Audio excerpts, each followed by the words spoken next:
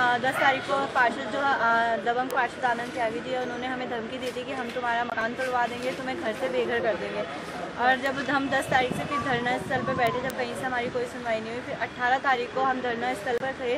अचानक ही घर वहाँ से किसी का फ़ोन आया और उन्होंने कहा कि तुम्हारा घर तोड़ दिया। और जैसे हम लोग यहाँ से मीडिया लेकर के जब यहाँ से गए तो वहाँ पर देखा कि जो पार्षद और कुछ दबंग लोग हैं उन्होंने जा करके हमारा सारा घर तोड़ दिया था और हमारे घर पे अपना ता, हमारा खुद का ताला तोड़ करके उन्होंने अपना ताला लगा दिया था और हमारा सामान सब तोड़ दिया। आने वाली बात अभी पार्षद क्या आपको किस प्रकार की धमकी दे रहे हैं और अब आप क्या करोगे अभी पार्षद हमें ये धम, पहले तो उन्होंने मकान तोड़ने की धमकी दी थी और उन्होंने 18 तारीख को तोड़ दिया था।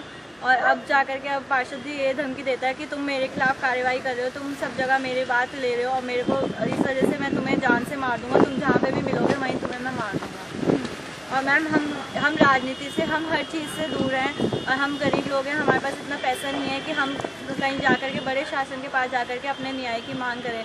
और जो पार दबंग पार्षद है उन्होंने दो सौ ती, दो सौ तीन सौ रुपये जो भी उन लोगों को दिए थे और सबको दे दे करके उन्होंने इकट्ठा लोगों को कर लिया लेकिन हमारे पास पैसा नहीं है और ना ही हम ये सब गलत करना चाहते हैं। हम इसलिए अप- अपनी लड़ाई अपने न्याय के लिए हम अकेले ही लड़ रहे हैं। अगर हमें इंसाफ नहीं मिलता है अभी तो आज और अभी से हम आज और अभी से हम यहाँ आमरा अनशन के लिए शुरू हो गए हैं। हम हमने भूख हड़ताल करना शुरू कर दिया है। और अगर फिर भी हमारी कोई कार्रवाई नहीं होती है तो पार्षद आनंद त्यागी से के हाथों मरने से अच्छा है कि हम खुद ही सुसाइड कर लें अभी आपने इसकी शिकायत कहाँ कहाँ दर्ज की और क्या कुछ उसका निष्कर्ष निकला है? सबसे पहले हमने M D office GM office के सबके यहाँ करी थी लेकिन कहीं से कोई सुनवाई नहीं हुई। उसके बाद हमने जब हमारा ताला तोड़ा गया हमारा मकान तोड़ दिया गया तो हमने इसकी शिकायत थाना रायपुर में करी थी। वहाँ के दरोगा सर ने हमें ये बोला था कि अगर तुम इन लोगों के खिलाफ कार्रवाई करते हो तो उल्टा तुम्हारे ऊपर हम धाराएँ लगा देंगे और तुम्हें जेल में बंद करा देंगे। क्योंकि तुम इलीगल रह रहे हो। दर- अब एक बात बताइए ना अगर हम इलीगल रह रहे हैं तो क्या और घर वहाँ पे दरोगा नहीं का है? नाम क्या बता एक्चुअली दरोगा का नाम मेरे को पता नहीं है क्योंकि उस समय उन्होंने जैकेट पहनी हुई थी इसलिए मैं नाम देख। थाना रायपुर के दरोगा है वो। और जो वहाँ पे गोल सा केबिन सा बना हुआ है वहाँ उसके नीचे बैठे हुए थे वो। कुछ आनंद त्यागी जी के ही मतलब वो खास हैं इसलिए उन्होंने हमारी नहीं सुनी। हमारी रिपोर्ट को उन्होंने ऐसे फेंक दिया कि जाइए अब हम आपकी रिपोर्ट नहीं लेंगे। आप इस मैटर को और ज़्यादा मत बढ़ाइए। इसके आगे आपने एसएसपी और मुख्यमंत्री को भी हाँ हमने मुख्यमंत्री सर को भी तीन बार स्पेशली हमने उनको तीन बार वो कर फैक्स के द्वारा भी करी है और उनको डाक के द्वारा भी भेजी है लेकिन वहाँ से कोई कार्रवाई नहीं की गई।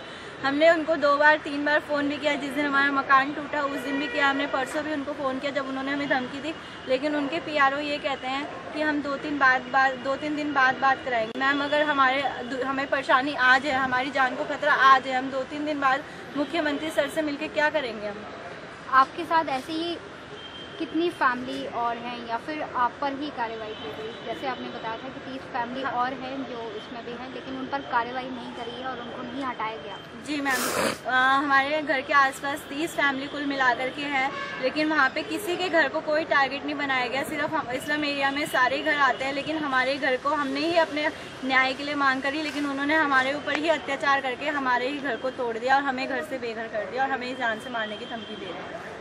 आज एक पीड़ित परिवार अनशन पे बैठा है और उनका साफ़ तौर पे यही कहना है कि आपकी, आपके उससे हमें आज यहाँ पे मतलब अनशन में बैठना पड़ रहा है।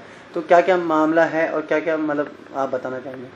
नहीं उनका जो ये आरोप है, ये बिल्कुल गलत है और ऐसा आरोप उन्हें नहीं लगाना चाहिए किसी के ऊपर, क्योंकि मैंने उन्हें किसी भी प्रकार से कोई पीड़ित नहीं किया है। हाँ इतना ज़रूर है कि उन्होंने पहला जो मकान था उनका, नदी के पुश्ते मकान था, इसी कॉलोनी में। ये पंद्रह वर्षों से वहाँ रह रहे थे वो मकान इन्होंने बेच दिया और वो मकान बेचने के बाद इन्होंने आगे बिल्कुल नदी में कि बीच में जो है इन्होंने मकान बना दिया।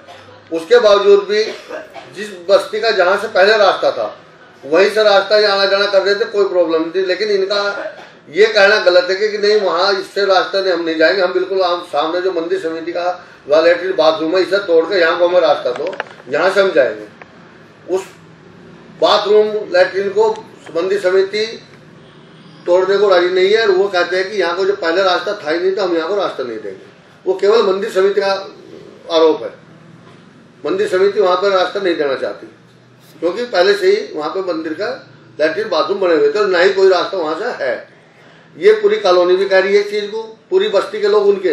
वो भी इस बात को कह रहे हैं कि वहाँ को पहले से रास्ता नहीं था तो वहाँ को रास्ता कैसे दिया जाएगा? जैसे हम बस्ती के लोग यहाँ को स्वास्थ्य को आ रहे ऐसे ही यहाँ आए जाए तो किसी का कोई आरोप नहीं। सर उनका साफ़ तौर पे ये भी आरोप लगाया है उन्होंने आप पे कि उन्हें जान से मारने की धमकी दी गई है। देखिए ये तो सब गलत बातें हैं।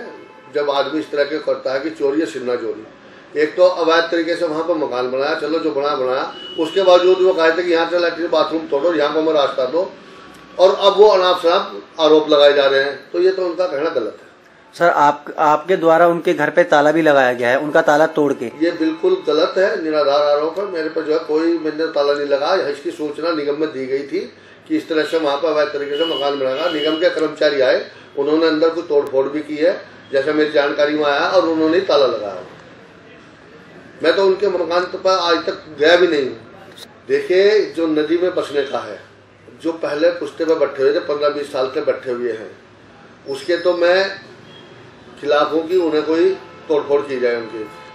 जो ये बैठ गए मैं इसके लिए भी ये नहीं कहता कि इसमें तोड़फोड़ की जाए लेकिन नदी जिस तरह से बंद होती जा रही है आकर नदी में बैठना बिल्कुल गलत है क्योंकि वो इनकी अपनी जान को और उनके बच्चों को भी जान को खतरा है। तो उसमें कल को बारिश आएगी नदी में पानी आएगा तो ये इनकी जान को खतरा है इसलिए नदी में आगे इस तरह से जैसे बढ़ते जा रहे हैं नदी के बीच में नदी का जो है बिल्कुल बंद कर दी गई है तो ये एक तरह से इनकी जान को खतरा है। एक पार्षद होने के नाते आपका मतलब कहाँ तक उनके लिए लड़ना है और कहाँ तक नहीं लड़ना है तो थोड़ा सा आप बताएँगे।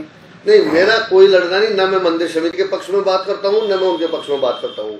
वो मंदिर समिति से बात करे अगर मंदिर समिति उन्हें रास्ता दे सकती है तो मुझे कोई ऐतराज नहीं।